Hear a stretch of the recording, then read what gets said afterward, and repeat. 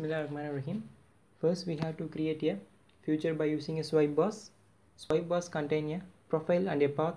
You have to visible the path which is most necessary for curve driven pattern.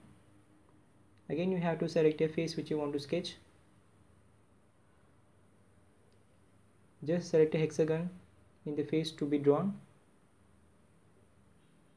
Click OK then exit the sketch. Go to the features. Select extrude give the amount of thickness for extruding the hexagonal bar after that you need to give the color for hexagonal bar for good appearance.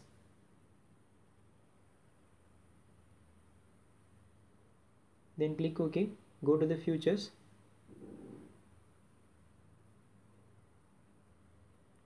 Select a curve driven pattern type. Inside them in a direction 1 we need to specify the path which was created for swept boss. Make sure that your flip direction in your required positions and then you have to select a hexagonal bar to be patterned. Change the flip direction based upon your requirement. And then your curve method type is to be offset curve and tangent to curve. Enter the number of instances to be produced based upon your requirement. Give the angular spacing between them just click ok. Now our curve driven pattern is created. To get the regular updates of my video please subscribe on my channel. Like and share.